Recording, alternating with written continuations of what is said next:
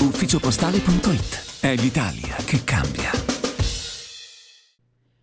Lotta alla povertà e alle disuguaglianze. La Regione Abruzzo investe sull'inclusione stanziando oltre un milione e mezzo di euro per abbattere le barriere sociali rendere le città più inclusive è l'obiettivo posto alla base dell'avviso riservato alle associazioni del terzo settore impegnate in attività di volontariato e di abbattimento delle disuguaglianze sociali. La misura è stata presentata a Teramo dall'assessore regionale alle politiche sociali Pietro Quaresimale, nonché dal dirigente del servizio programmazione sociale della regione Raimondo Pascale.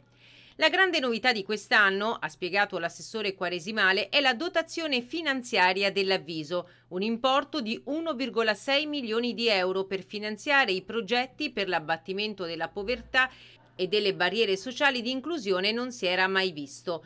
Nella nostra regione, ha aggiunto l'assessore, si registrano, anche se misure sensibilmente minori rispetto ad altre regioni, criticità in alcuni territori in tema di emarginazione.